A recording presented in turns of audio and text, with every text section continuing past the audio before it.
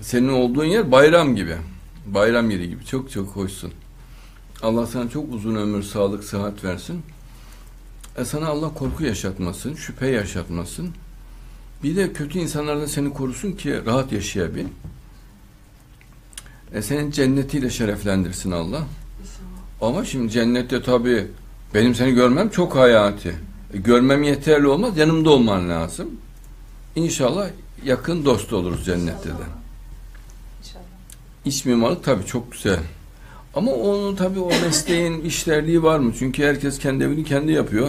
Gayet de güzel yaptığı kanaatinde. Mor koltuklar bilmem ne falan. Üstüne de kırmızı bir çiçek koyuyor falan. Oh çok güzel oldu falan diyor. Şimdi iç mimar çağırsa da dinlemez onu yani. E, iç mimara iş çıkıyor mu? o çok mesele. E çıkıyorsa ben bilmiyorum durduğumu. Çok çok iyi iç mimar. Çünkü bütün sanat dallarının içine alıyor iç mimari. Ha, mesleğim diye söylemiyorum. Yanlış anlamayın. Siz gerçek sanatçısınız maşallah. yani akademide 3 yıl dirsek e, ne yaptık? Geliştirdik. evet. Gülen bir bebek.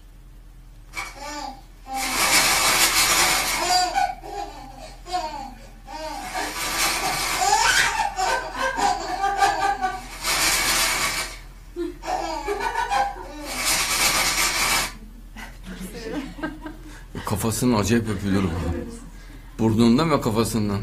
Kafada sıcacık oluyor. Yumuşacık yani çok özenli olmak lazım. Çünkü çocuklar öptüğünde alerji de olur. Yani öpülen yerin ılık suyunun hafifçe yıkanması lazım. Bunlar zar gibi ciltleri. Babası yavrum diye böyle çılvak tikleme. Vakumlayarak öpüyor. Çocuğun cildi böyle kıpkırmızı oluyor. Öyle olmaz.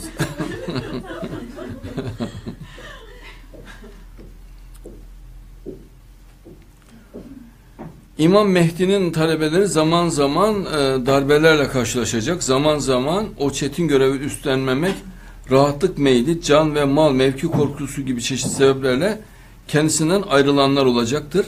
Kim diyor?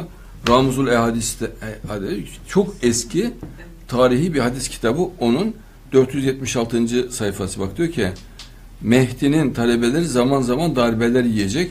Zaman zaman o çetin görevi üstlenmemek, rahatlık meyli, can, mal, mevki korkusu gibi çeşitli sebeplerle kendisinden ayrılanlar olacaktır. Ramuzul Ehadis çok eski bir hadis kitabı. Yani yüzlerce yıllık kitap. Münafıklar da, muhalifler de Mehdi'ye zarar veremeyecek. O kendisinden ayrılanlara rağmen muzaffer olarak yoluna devam edecek. Yine Ramuzul Ehadis sayfa 487. Teberani Kebir'inden alınmış.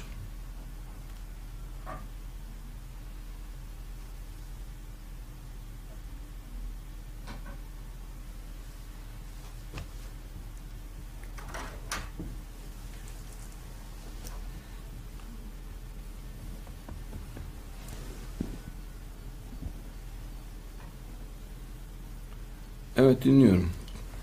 Birkaç sevimli resim göstermek istiyorum.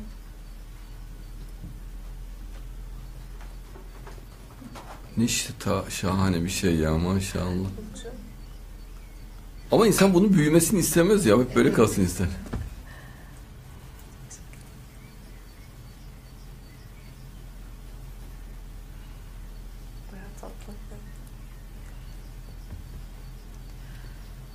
Referandumda İstanbul'da hayır oyları evet oylarını geçmişti. Bunun üzerine AK Parti'nin İstanbul'da yerel seçimleri kazanamayabileceği ihtimali gündeme geldi. Cumhurbaşkanı Erdoğan yerel seçimler için İstanbul ve Ankara'yı kaybedersek Türkiye'yi kaybederiz deyince İstanbul için güçlü bir aday aranmaya başlandı. Şu anda AK Parti kulislerinde Başbakan Yıldırım'ın adaylığına neredeyse kesin gözüyle bakılıyor. E, Sayın Binali Yıldırım için İstanbul'u kazanacak tek aday odur. İstanbul için sadece MHP ile ittifakımız yeterli olmaz. Referandumda bunu gördük. Bu nedenle Yıldırım siyaseti değil hizmeti öne çıkaran tavrıyla herkesinden CHP'den bile oy alabilir deniliyor. Ya bak ben AK Parti'ye e, dostane kardeşçe söylüyorum. Kadınların dekoltesine müdahale edilmezse, kadınların dekoltesine saygı göstertildiği göstertilirse açık açık Yani makyajına, mini eteğine, eğlencesine, müziğine, e, rahat ve özgür yaşamasına müdahale edilmezse şehirlerin hepsini alırız. Öbür türlü şehirleri kaybederiz. Yani öyle bir halk yok yani öyle gelenekçi akit gibi akit kafasında bir halk yok. Bizim halkımız modern, genç kızlarımız falan modern.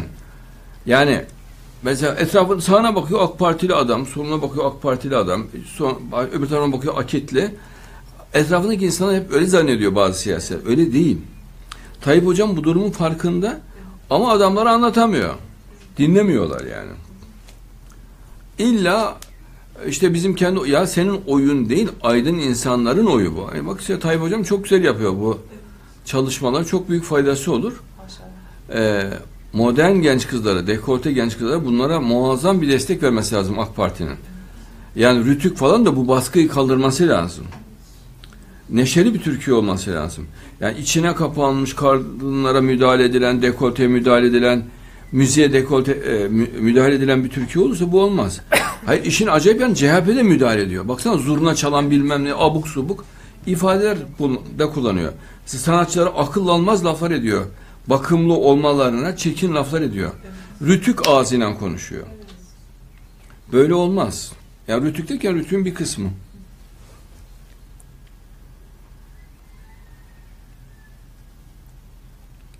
Evet dinliyorum. Kur'an'da sebep sonuç ilişkileri nasıldır? Sen nasıl güzelsin böyle bakayım. Sen